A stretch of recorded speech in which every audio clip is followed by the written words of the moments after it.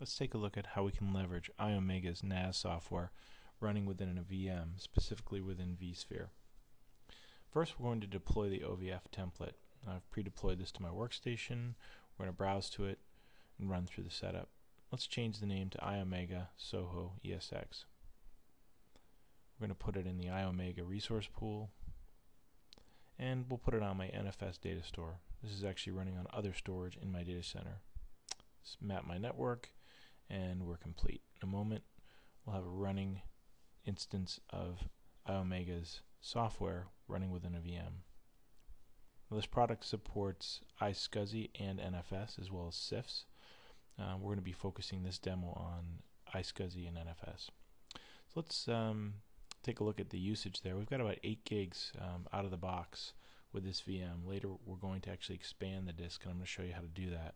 Let's power it on and uh, we'll grab a console here and just validate that uh, we're powered up as well as I want to log in real quick um, using the um, root user and just check that I have an IP address. I have DHCP running on my network so run an ifconfig and you can see zeros up and running and we have an IP. The next thing we want to do is um, install the Iomega StorCenter software and I need this initially to actually go out and discover the running instances in my network and then start to manage them. This is just a Windows uh, install.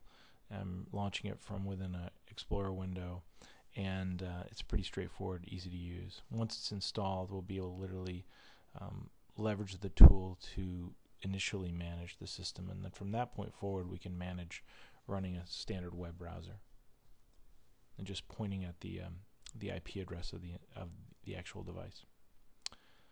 So we'll launch the application and initially it'll go out and try to discover, it'll find it, and then from that point forward we can simply use the web browser.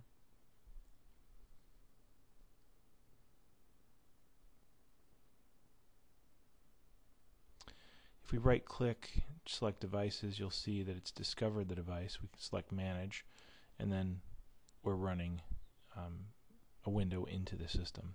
First thing we're going to do is change the device name. We'll call it ESX iOmega.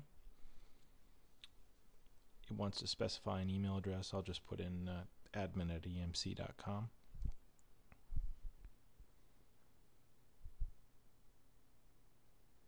Set our time zone. Optionally, we could set up our time servers as well. And then it's going to actually reset the software. And in a moment, we'll be back into the main administrative tool, ready to configure. So there we are. First thing we're going to do is we're going to go to the disks and take a look at what we've got. Well, like I said before, we have about 8 gigs out of the box for this OVF. What we're going to do is behind the scenes go back into the VM and expand the associated VMDK files. Now this is vSphere, so I can do this of course online, increase the size of these VMDKs. I'm going to make each one of these 50 gig in size. I also have, have this on an NFS data store, which by default supports thin provisioning. So these are only going to take up as much space as they're actually consuming. So once we add the storage to our VM, I can simply go back to the interface and running a special URL support HTML, I can go behind the scenes, select reset data protection, and then initiate essentially the reconfiguration of the storage. Now mind you, if you had data on the system, it would be lost at this point. Effectively recycles the box, takes it back to factory uh, reset defaults. But you can see that it's actually added the additional space, and at this point we can leverage it for things like iSCSI and NFS. We go into settings, select iSCSI, and we enable that service. What we're going to do now is add an iSCSI drive. So we're going to go to storage, iSCSI drive, add in a name. Here I'll use iOmega iSCSI, and let's create a 5 gig LUN.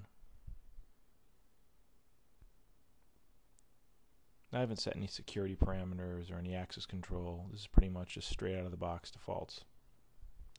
You can see now we have our 5 gig LUN running up and running and online. Let's now go into vSphere, into our storage configuration, and we'll configure iSCSI. So actually this system hasn't been configured to use it, so we're going to use a software initiator with an ESX. We'll enable the initiator. we're going to go into our dynamic discovery tab and set the um, IP address of the actual management interface, which is going to be advertising the iSCSI storage. It's going to prompt us to rescan the HBA and it's going to immediately discover the 5 gig LUN. So go to the um, HBA and we can see we have a device waiting for us. Then we go into storage, add storage, select disk LUN, there's the 5 gig LUN, and of course we're going to identify it, provide a name for it. Let's call it uh, iOmega iSCSI. Give it a block size.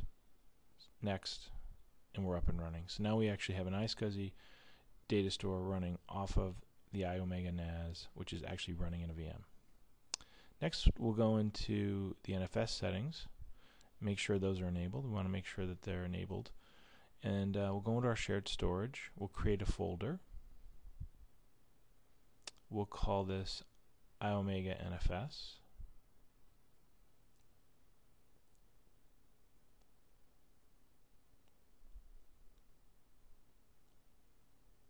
Okay, that's completed. Now go back into vSphere. In just the same way, we'll go into the storage, add storage, this time NFS or network file system, specify the management interface where this particular NFS target is being advertised. The mount point, in this case, is NFS slash iomega dash NFS. And we'll give it a data store name. We'll give it the same name, iomega dash NFS.